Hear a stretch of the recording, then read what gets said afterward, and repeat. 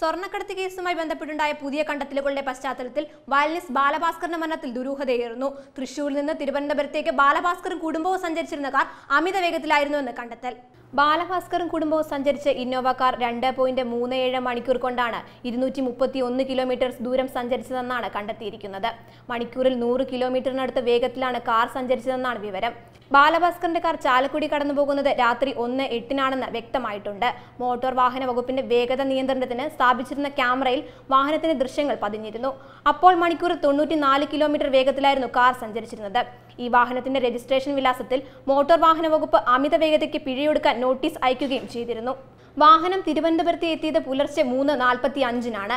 ചാലക്കുടിയിൽ നിന്ന് വാഹനം ഇവിടെ എത്താൻ രണ്ട് പോയിന്റ് മൂന്ന് ഏഴ് മണിക്കൂർ മാത്രമാണ് വേണ്ടി വന്നത്. അമിത വേഗത്തിലാണ് വാഹനം ഓടിച്ചതെന്ന് ഇക്കാര്യം വ്യക്തമാക്കുന്നു. അപകടത്തിനിരയാക്കിയത് അമിത വേഗതയാണെന്ന സൂചനയും ഇത് നൽകുന്നു.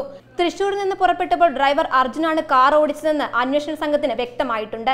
കൊല്ലത്തെത്തിയപ്പോൾ വഴിയോരത്ത് കാർ നിർത്തി ജ്യൂസ് കഴിച്ചതായും കണ്ടെത്തിയിട്ടുണ്ട്. ഇക്കടയിലെ സി ദൃശ്യം ക്രൈംബ്രാഞ്ച് പരിശോധിക്കാൻ തീരുമാനിച്ചിട്ടുണ്ട്. ആദ്യം അന്വേഷിച്ച പോലീസ് ഈ സി സി ടി വി ദൃശ്യങ്ങൾ പരിശോധിക്കാതിരുന്നത് കേസിൽ പോലീസിന്റെ വീഴ്ചയായി ആരോപണം ഉയർന്നിട്ടുണ്ട്.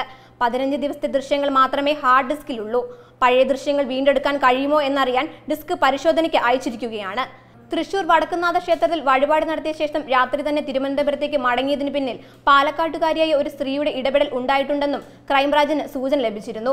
വഴിപാട് കഴിഞ്ഞ് ഹോട്ടലിൽ തങ്ങരുതെന്ന് പറഞ്ഞ് രാത്രി തന്നെ ബാലഭാസ്കറിനെയും കുടുംബത്തെയും തിരിച്ചയച്ചതും ഈ സ്ത്രീയാണെന്നാണ് കുടുംബാംഗങ്ങൾ ആരോപിക്കുന്നത്.